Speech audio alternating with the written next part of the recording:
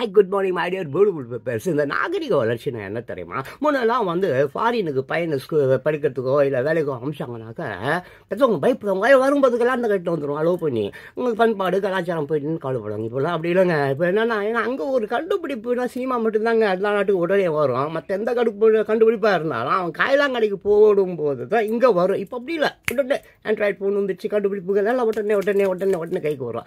அந்த மனைவிமார்கள் இருக்காங்களா? நிறைய பேருடைய மனைவிமார்கள். என்ன பண்ணுவாங்கன்னா புருஷன் சத்ததுக்கு அப்புறம் நம்ம எப்படி வாழ போகிறோம் அதனால் அவனுக்கு தெரியாமல் காசு பணம் நகையெல்லாம் சேர்த்து வச்சுக்கிட்டு இருப்பாங்க. கூடவே ஒரு கள்ள காதலை மெயின்டைன் பண்ணிட்டு அப்படியே வருவாங்க. இவன் சாவர மாதிரி இருக்க மாட்டான். கள்ள காதல் அவனை சேர்ந்து இவனை போட்டு தள்ளிட்டு ஜாலியாக இருக்கான்னு பார்ப்பாங்க. ஆனால் இவன் துரதிருஷ்டம் பதிச்சுப்பான் அவங்க ரெண்டு பேர் ஜெயிலுக்கு போயிடுவாங்க. ஜெயிலில் வச்சு அவங்கள கொலை பண்ணணும்னு நினைப்பாங்க யார் இந்த புருஷங்க? அதுதான் அதுதாங்க இன்றைக்கி நாகரிக வளர்ச்சி. Hi my dear bird beautiful peoples ஒரு சின்ன ரிக்வெஸ்ட் எனக்கு நம்ம தேசத்தந்தை காந்தி இருக்கார் இல்லைங்களா?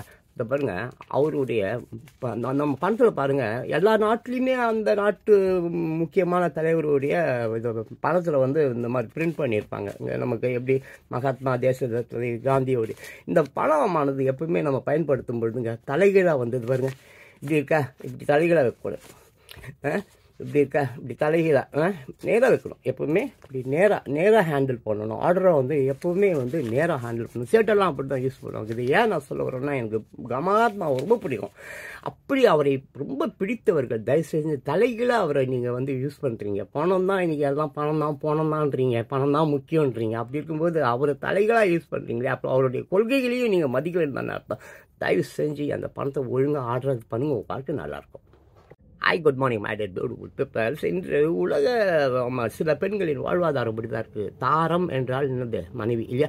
ஸோ நான் காலையில் பார்க்கல எப்போ வாக்கிங் போவோம் அப்போ எங்கள் ஊர் தெருவில் இருக்கிற ஒரு ஒரு ரெண்டு பிள்ளைங்க காதல் லவர்ஸ்ன்னு வச்சுங்க இல்லாட்டினா வேறு மாதிரி கூட வச்சுங்க.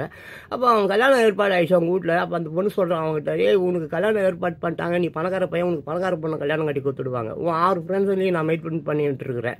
ஆறு பேரும் கல்யாணம் கட்டிக்க போகிறோம் என்னை கட்டி விட போகிறீங்க ஆளுக்கு ஒரு அஞ்சு லட்ச ரூபா போட்டு ஆறு பேர் முப்பது லட்ச ரூபா எனக்கு ஒரு ஃப்ளாட் வாங்கி கொடுத்துருங்க என் வாழ்வாதாரம். நான் உங்களுக்கு தாரமாக இருந்தேன்.